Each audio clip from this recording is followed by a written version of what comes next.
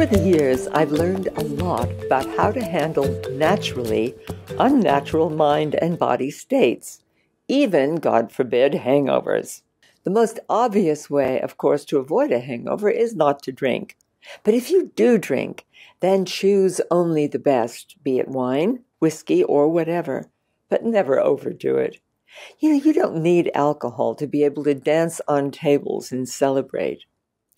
The best alcohols to drink are those with the fewest, always unpleasant chemicals known as congeners, because they upset your whole system. King of all the alcohols when it comes to purity and low levels of congeners is tequila. It's a drink that I suggest you make good use of over the holidays, but here's the gem. If you decide to make yourself a margarita, make it from real tequila so much of the stuff that they sell out there that's called tequila is filled with a lot of insidious chemicals which you don't want to put into your body.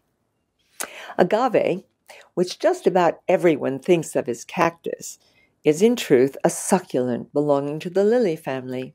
And the finest blue agave comes from the highlands of Jalisco, Mexico. It has to be harvested at the peak of its sweetness. My brother, whom I adoringly call Toto, is a connoisseur of tequilas. He insists, and I have checked this out and recommend and trust his suggestions implicitly, that the finest tequila is made by Patron.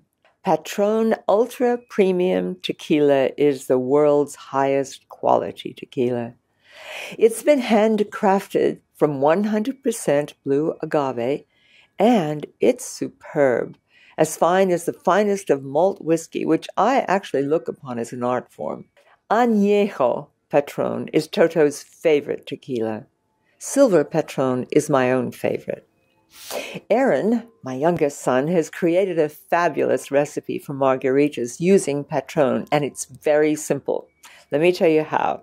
To a handful of ice in our Vitamix, he adds four jiggers of freshly squeezed lemon or lime juice, four jiggers of either silver or añejo patron, two jiggers of Cointreau or Grand Marnier, I prefer the Grand Marnier, a couple of jiggers of water, and the creme de la creme, a dropper or two of the most delicious stevia in the world, English toffee sweet leaf stevia. It's so much more delicious than the usual sugar or syrup, which is really rather revolting. He turns on the Vitamix for 30 seconds while he rubs the rim of each glass with one of the lemon or lime skins and then plunges it into a saucer of Himalayan salt to coat the rim. This makes margaritas for four people. It is a perfect hangover free treat to share with friends over Christmas. It's great stuff for dancing on tables if you're so inclined, too. Now, let's get back to hangovers that come from drinking stuff which is not so pure or just drinking too much of anything. Drinking lots of pure water before you go out for the evening and then continuing to get plenty of good quality clean water along with alcohol later. This does help to prevent the dehydration and ghastly headaches that come with an overindulgent evening. And there are a couple of important things that you can do the next morning, too, to help restore your equilibrium. First thing on waking, make yourself a cup of ginger or peppermint tea. Put two teaspoons of the dried leaves or four teaspoons of the fresh leaves into a teapot and pour a cup of boiling water over it.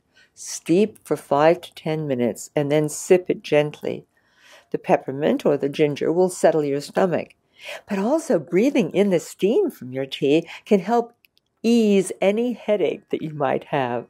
Then, once your stomach is settled enough to handle more, take two to three grams of vitamin C. That's 2,000 to 3,000 milligrams. And two to three grams of evening primrose oil, or starflower oil, or borage oil. Vitamin C's antioxidant properties help your liver clear the toxic waste from too much alcohol. The GLA in the oils is turned into prostaglandin E1, which is an important regulator of mood, and alcohol undermines your mood. When your mood is low, you can feel depressed and very tired. Also, don't forget St. Mary's thistle. It's also known as milk thistle. It's a marvelous liver cleanser and supporter. Take two capsules or a teaspoon of tincture in the little water every three or four hours until you're feeling human again. If you can in your current state, remember where you last saw it, reach for some dried borage. Open the jar or put it in a paper bag, hold your nose over the bag, and take a deep breath. Nobody's ever been able to explain to me how borage works this magic, but doing this can clear your head wonderfully. I've also heard that taking ginkgo before you go out for an evening can help you prevent hangovers by enhancing your body's ability to metabolize alcohol swiftly. But you know what? I've never learned how much you should take or how long before drinking alcohol you should take it. Nevertheless, if you are taking ginkgo for other reasons, pay attention to how you feel after a glass or two of wine and see if this makes a difference. Let me know, will you? Good luck.